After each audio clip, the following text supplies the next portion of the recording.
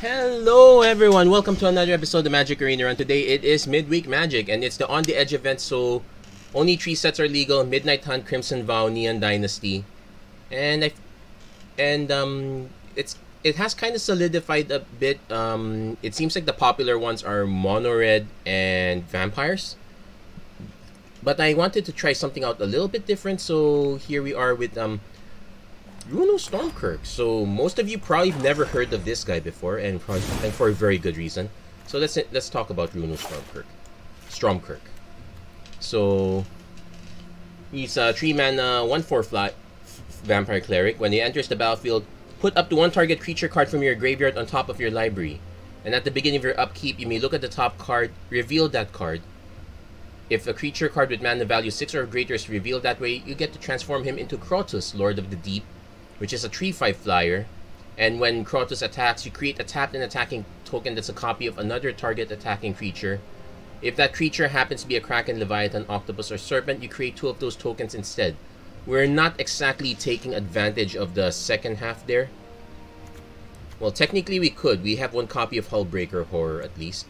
But um, pretty much the idea is that we want to flip Runo, get and get and get tons of value. So our main value cards are pretty much Virus Beetle and Circuit Mender. Though getting, though like say getting copies of Kairi is um is pretty good as well.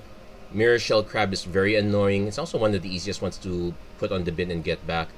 Toxrill not so much, it's legendary. Same with Jin-Gitaxias. I could run the full gamut of Hullbreaker Horrors, but we don't exactly have many instants and sorceries in this build. In fact, it, like um the infernal grasp and the path of peril those are only instants and sorceries. Everything else is pretty much a permanent.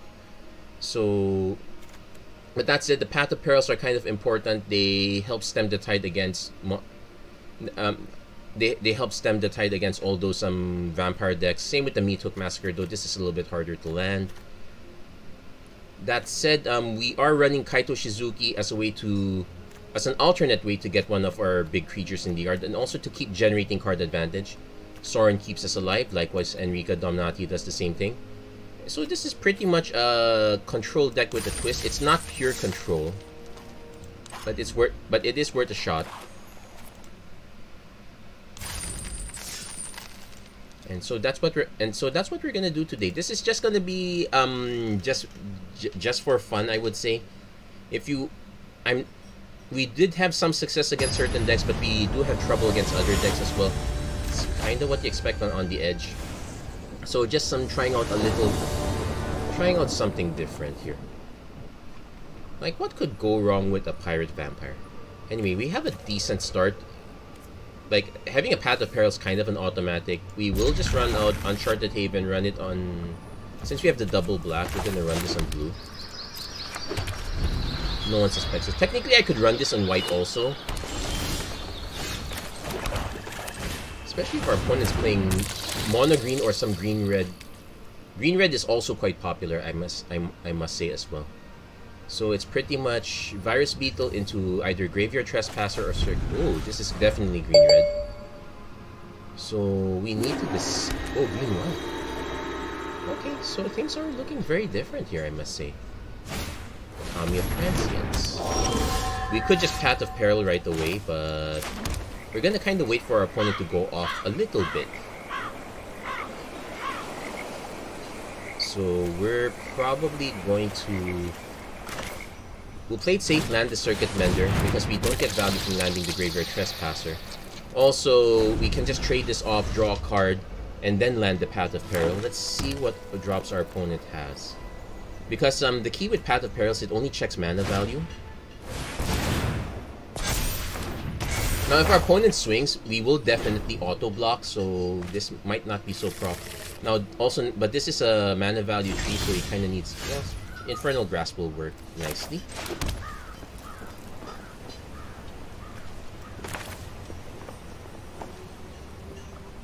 There is an argument for holding the Infernal Grasp, but we, ha we have a definite target for it.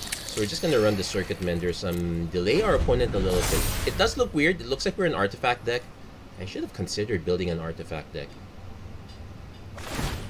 Opponent discarding the Jukai, which is fine. If they go really wide, I want to wedding announcement. Well, we we can hit the token at least. Borrow time. That's fine. We lose one circuit mender. We probably don't trade the other circuit mender. We might actually just trade the virus beetle because we're gonna lose it anyway.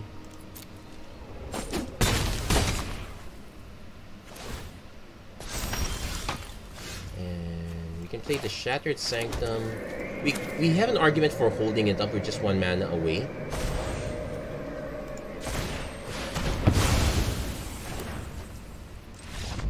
And, okay, that was fast. I did not expect an auto concede from there.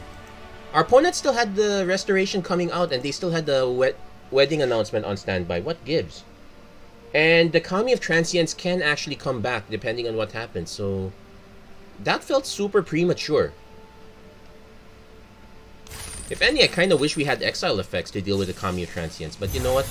I'll take that win. I'll take it. I'll take it. It's not I'm not going to complain over a win. A win's a win. We'll take it.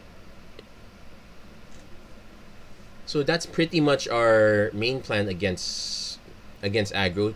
Aggro seems to be very popular on the edge, and it does make sense. I've been looking back at some of the vid, uh, the previous on the edge decks I've done. They've mostly been aggro to some degree. Uh, this is we have the Stromkirk. We can bin the Mirror Shell Crab. We have an Infernal Grasp if we need to, but we're just going to be one turn delayed. We, I'm going to risk this, but I honestly should be mull mulling this. We will name this on blue because we have a white-black on standby. But now we now we need another. We need at least one more land. Evolving Wilds is slow, but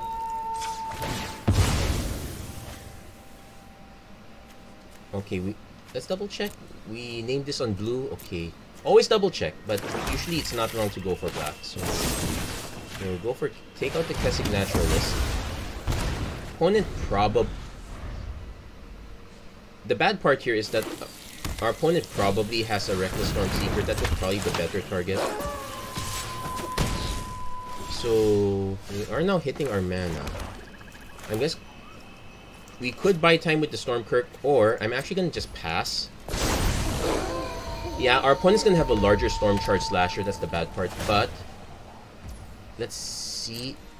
Technically, we could have countered that. But let's see if our opponent has a spell. Generally, they do.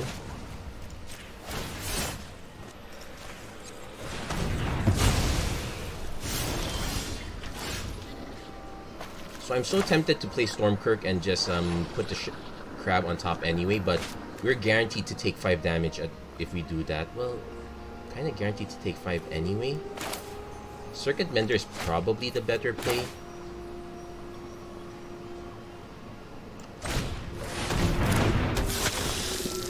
I want to see it flip at least. We're definitely not attacking though.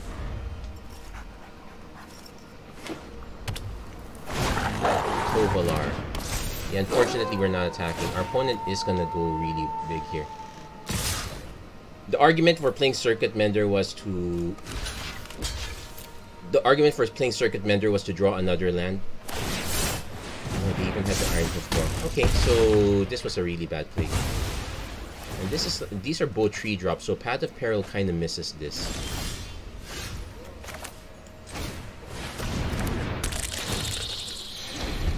We can concede this one. So this either wins quickly or loses quickly. This is actually closer to mid-range. Our mistake was um, hitting the Kessig Naturalist when we should have hit the Reckless Stormseeker that was coming. There was no reason for us to hold back for the most part. But also the hand we kept was kind of sketchy. Actually, it's a reason why I would prefer anything over Hullbreaker Horror. We don't usually hit the mana for it. It's usually just to get it to flip. But then when you do get it to flip, it works out. Also does show us the weakness of Path of Peril, but currently, but technically in this format, yeah, the only other relatively cheap um, wrath effect would be by invitation only. So, there's also Consuming Tide. Okay, same problem, but we do have a 2-drop to slow our opponent down. Uh, let's play it Because it's really great. We have the Kaito, we have the Circuit Mender. Keeping sketchy hands. I don't like it. Opponent has to... Oh. At least the Virus Beetle trades well with Ascendant Pack Leader for the time being. But we are in trouble until we can hit a third land. Passive Naturalist. Everyone's been getting their... We'll take another Virus Beetle. If we, if we can slow our opponent down, I we are I'm I will go for it. Current situation, it looks like I I am probably just blocking the Ascendant Pack Leader.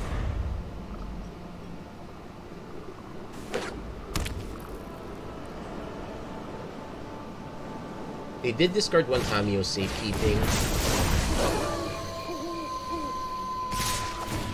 This has trample, but being able to take it out is probably not such a bad idea.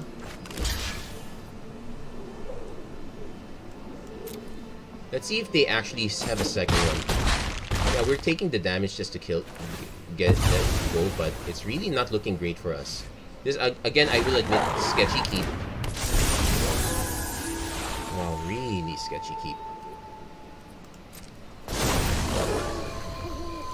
We can concede this one. We we won't be able to catch up after that. So let that be a lesson. Three mana minimum. No, as no matter how promising it is, never don't don't keep a hand with less than three mana. You you will regret it. Kind kind of sounds like the guy from SimCity 2000. You cannot reduce you cannot reduce funding. You will regret this. Something to that effect.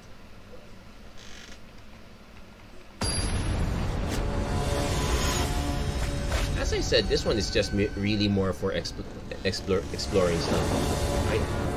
Okay, so no blue this time, but we do get we do get an early trespasser.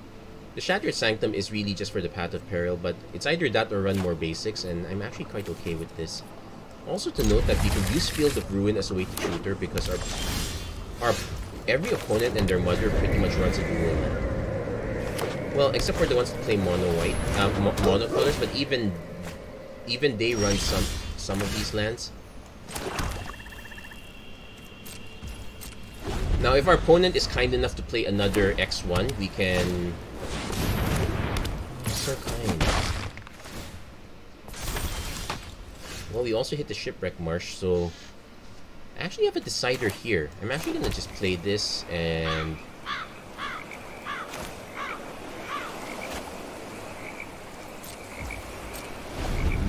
Leave this be. I don't think people expect a crab.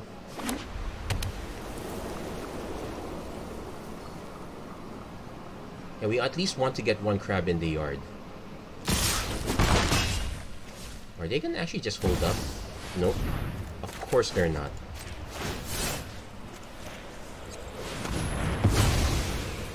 And that would have been an even bigger nightmare to deal with.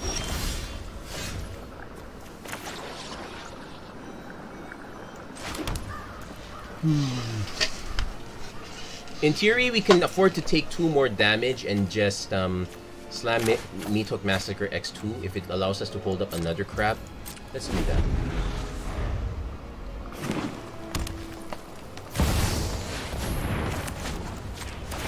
all according to cake, uh, all according to plan.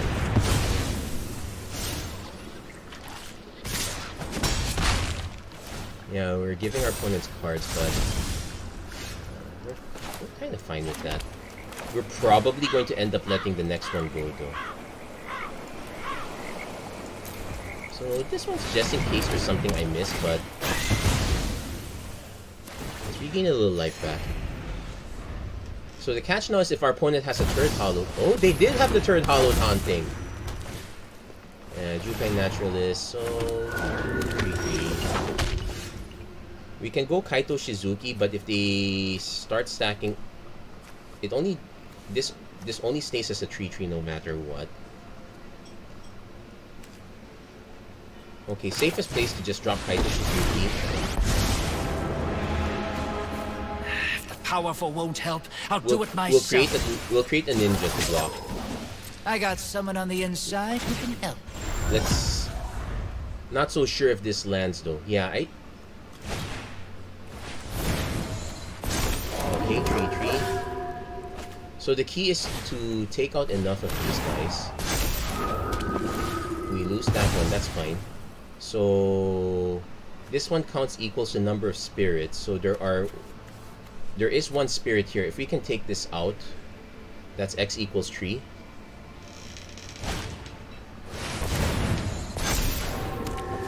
Okay, now we need one more mana. We might have to do a draw discard just to get it to happen. Yeah, we're doing the draw discard because we need it to be untapped. Yeah, I know something you don't know.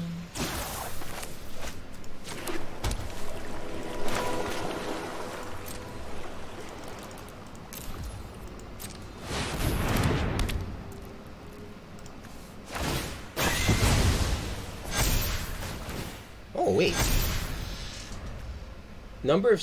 This creature's power and toughness are equal to the number of spirits. There, there were only four spirits. It should have been 4-4.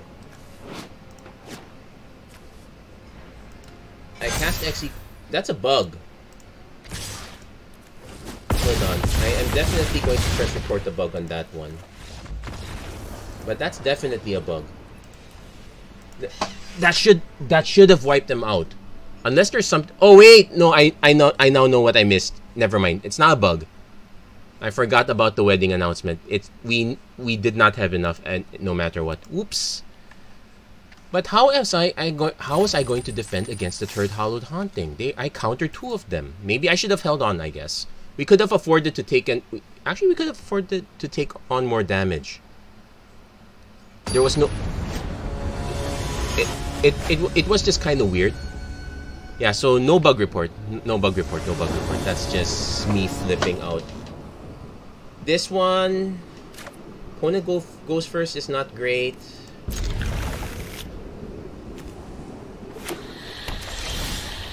Uh, multiple titles also not so great.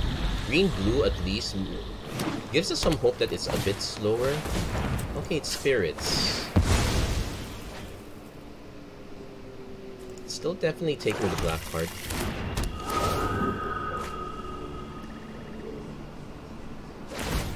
Wow.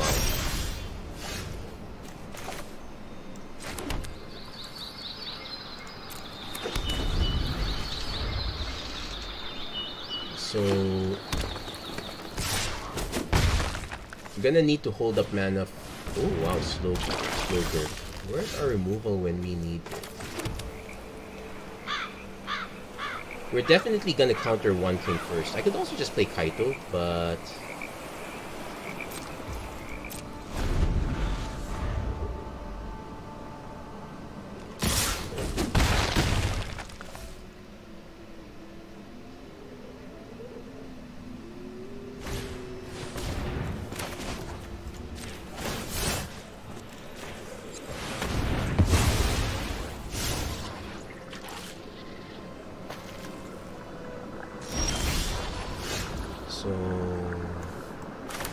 Get the crab on top. Going to name white since we have lots of black already. Technically we could use more blue, I guess.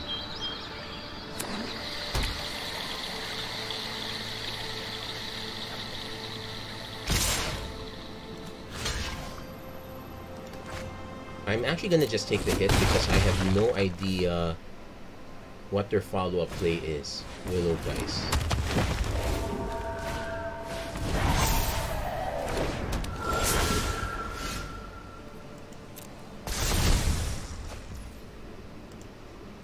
So I could just hold all of this up. I ideally want to play the land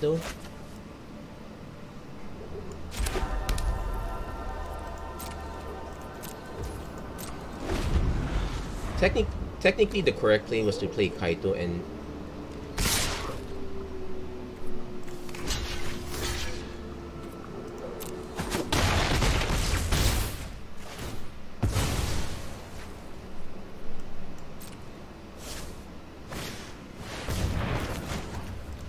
Of course, we're countering that. But now we get to play Circuit Mender to buy us a little bit of time. Okay, we actually get to play Circuit Mender. And Kaito. Which, um, because it's a real emergency, we're making a ninja. With the right tools, I can do any. Hmm. Bet you can't catch us. Crab doing good work. Containment construct. Also the discard plan. Another containment construct. Okay, cute.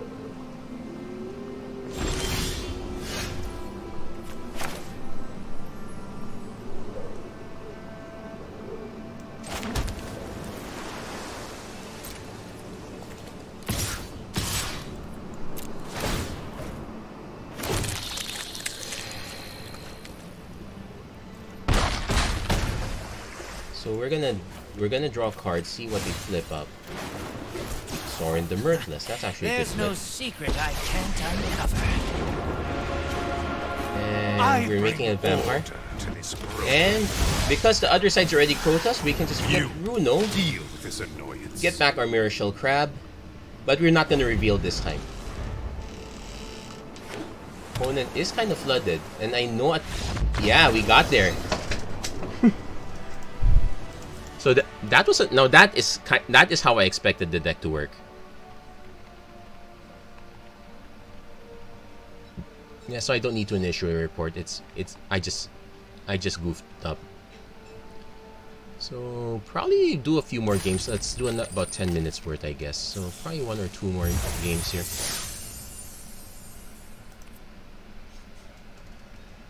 As it is, um, this match, hmm, it it's interesting enough. I would probably not powerful enough in the face of all the cards that um that we have from Zendikar Rising all the way up to Strixhaven. But interesting enough. So, hmm, super slow, but we got black, blue. So, we, opponent going first is usually the part that scares me. But we have three mana, we have our circuit menders. If our opponent, if our opponent's deck is super fast, that that's when we get into problems. I'm tempted to mulligan at least once. Okay, no, I'm no. Our opponent took a mulligan, so I'm not tempted anymore.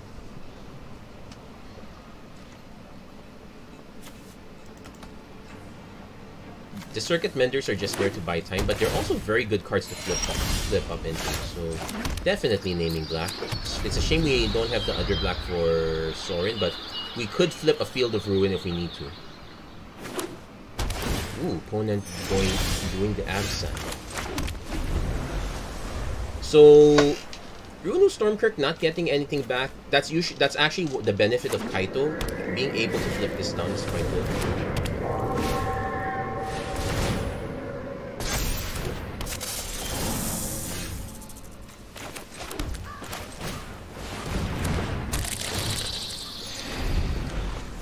Next turn, we can just play the Field of Ruin and bounce something as needed. Ooh. Well, we still get the card. That's the nice thing. That's the nice thing about them Circuit Mender. So we got ourselves another black source if we need it. Probably do. We. So we get to play another Circuit Mender.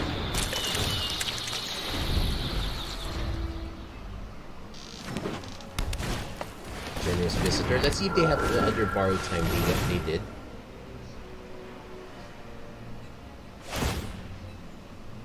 So we now just need to hit one of our four Path of Peril. Although a trick we can... Nope, we hit Mirror Crabs, that's fine. Oh, we did hit the Path of Peril, so... Let's see, we don't really have it.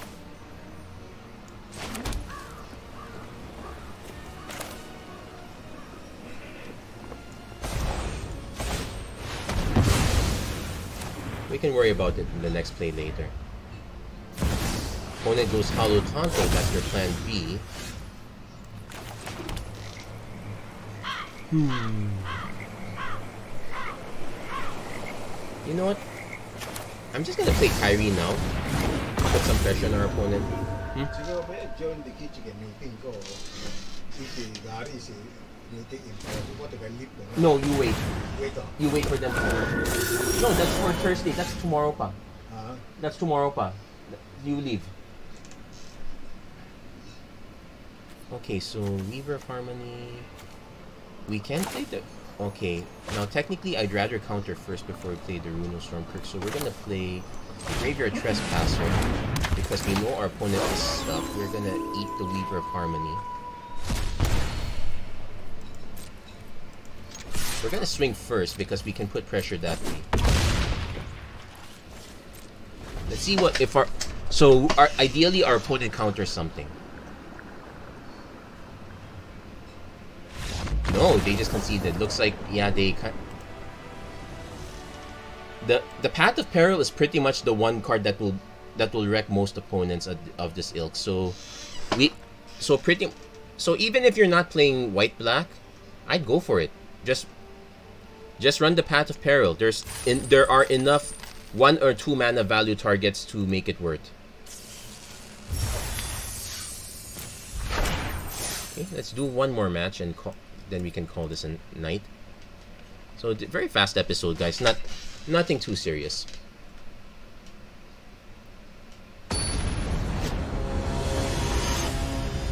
The circuit menders definitely bought us a lot of time. Also, it makes cards like um borrowed borrowed time really bad. Okay, definitely keeping this. We will lead on shipwreck marsh because we don't really have a one drop. Yeah, Path of Peril again. I will still drop the virus beetle though.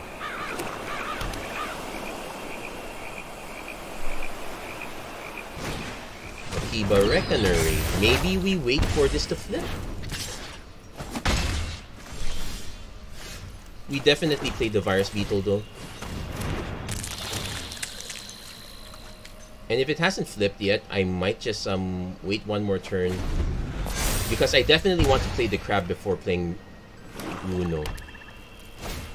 We have a tainted adversary. Okay, but so take we'll take the hit. Because it's gonna die anyway.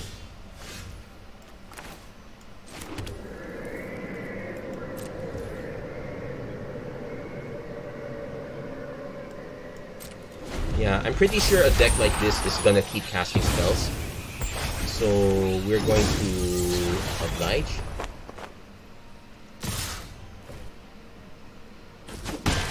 I'll be surprised if they did not cast a thing. Of course they're going to cast something. Arrogance just counter it now. Because this because if this somehow stays, it's gonna be annoying. It's a tree it's it's tree it's a mana value of tree.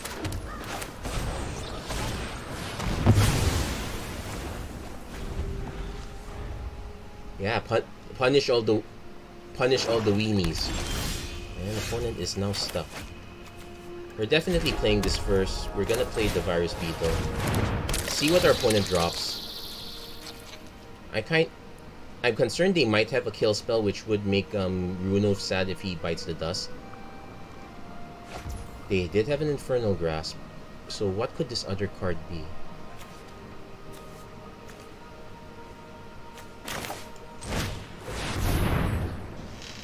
I'm gonna play Circuit Mender just to be sure. Might be another flex drop of some sort. No, it's the way the way it's timed. It, def, it has to be an instant of some sort.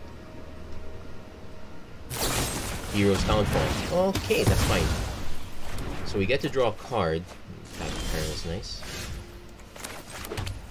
So we attack first. We'll play Kaito. Draw a card. Get in, get out. Easy Okay, mission. another Thanks. title. Then we'll, we will that now play Runo. Put the Mirror Shell Crab on top. Now, if they have kills a kill spell for Runo, we won't get the combo off, but we will definitely have ways to protect our stuff. And I can just keep drawing cards for for the most part. Opponent is definitely forced to kill Runo. They do not want me to have Crab in they do not want to try to go for it when I have crab in hand later. Yeah, Mirshell Crab really Really nuts. It's a diff different sort of crab effect. It's not ruin crab anymore.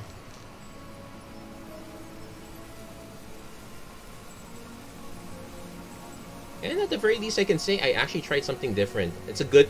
I'm actually happy in the sense that the my previous on the edge um, testing did not work out really well because I got to try something like this. And you know what? The midweek magics are very good places to te test all these out. Although I will also say that midweek magic is uh, not a not a good place to not a good place to alt F4. Probably just a bad connection. But this might be a very good time for us to say that that's gonna be it for this um, this, that, that's gonna be it for the Magic Arena run. If you like what you saw, please don't forget to like, share, and subscribe. Turn on notifications and whatnot. Yes, there are some decks that are a lot faster, but you know what? I got so tired of facing up all against these fast decks.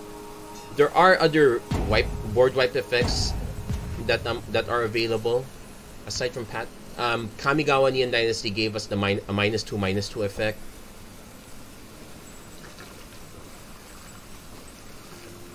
I think it's sorcery speed. So same so so same issue, but the minus two minus two misses a lot more. There's so many ways for all these some um, small creatures to grow very easily. Like um if so and hey guess what? I am getting the crab back. Oh come on, seriously. Yeah, opponent just timed out.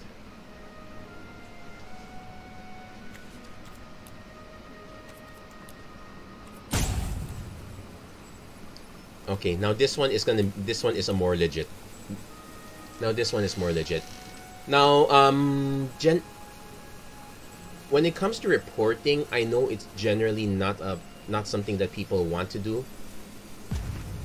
Personally, I'd say if it's egregious like this, I just I, I can forget about it, but I will report because um I need to make at the very least it cannot be a pattern of it cannot be a pattern of behavior that our opponent's exhibiting. Yeah, opponent just... Opponent just timed out and left. So there we go. That's that's going to be it for this episode. Thank you guys so much for watching. I hope to see you guys again next time. Take care. God bless. Stay safe wherever you are. And have a great week, everyone. Take care.